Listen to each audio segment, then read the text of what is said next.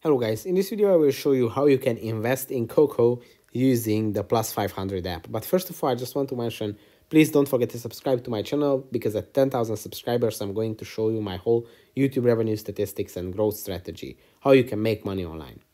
So let's jump into it. First, open the Plus 500 app, then go to the trade section, which you can do by sliding the slider on the top to the left side.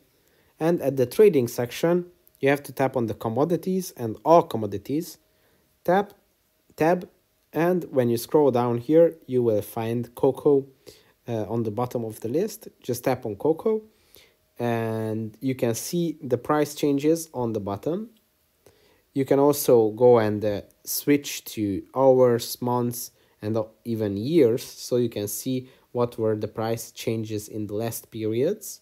And to invest in this asset, you just have to tap on buy and here you can increase or decrease the amount of contracts that you would like to purchase. You can see the rate on the top, which is $2,673.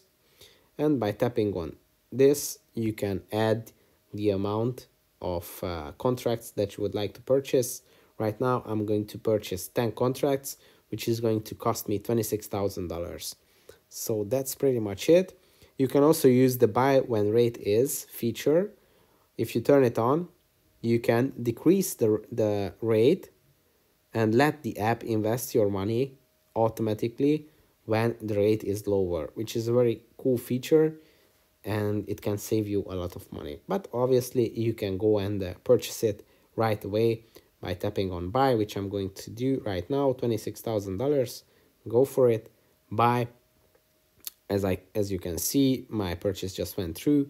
Go to open positions and see that Cocoa is here $26,000 and you can also see the opening value and the current value.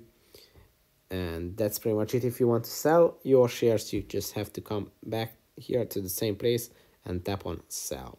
So that's it for this video. I hope it was helpful for you. If it was please consider subscribing and see you in the next one